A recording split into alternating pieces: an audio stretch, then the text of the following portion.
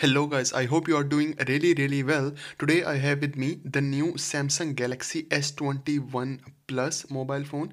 And in this video I will show you how to change language. So guys first of all you have to go into the settings. You see this icon for the settings. Go into the settings option okay? And just uh, scroll down and then you will see an option over here. Uh, it's called general management. You can see over here this three line icon. You can see over here. So you have to go inside this general management option okay? And then the very first option over here is about language. The first option is language. So you just select it go inside and then you see the last option is about add language option just select it okay? And then you have all the languages option over here. You can see there is a filipino espanol and uh, there are a lot of options. For example uh, you select any language and then you have to select the region okay?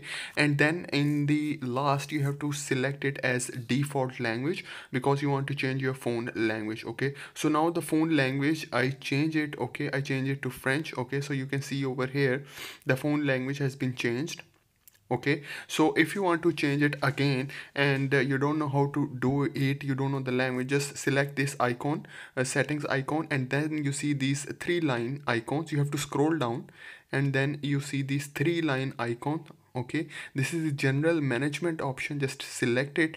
And then the very first option is about language. You can see over here and then here you will see all the languages that already been added. So you can select one of these languages. For example i select this english okay and then i apply and then english has been selected. You see this a tick over here. Uh, this it means that uh, the language has been changed to this uh, english uh, language. If you want to add language just select the add language option.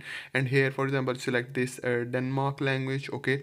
And if you want to keep it uh, as current you can also keep it as current if you don't want to set it as default.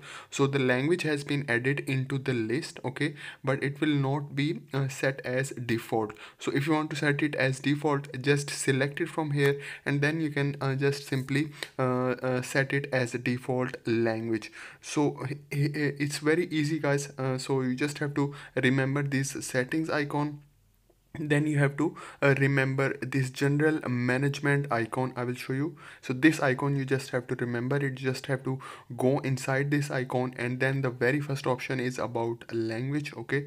And then you see all the languages are here. If you want to add more languages you can also select whichever language you want. There are a lot of options uh, about language. You can see over here all the languages are over here. So this will be very easy for you. So guys this is for today's video. I hope you like the video video and please do subscribe to my channel guys. Thank you very much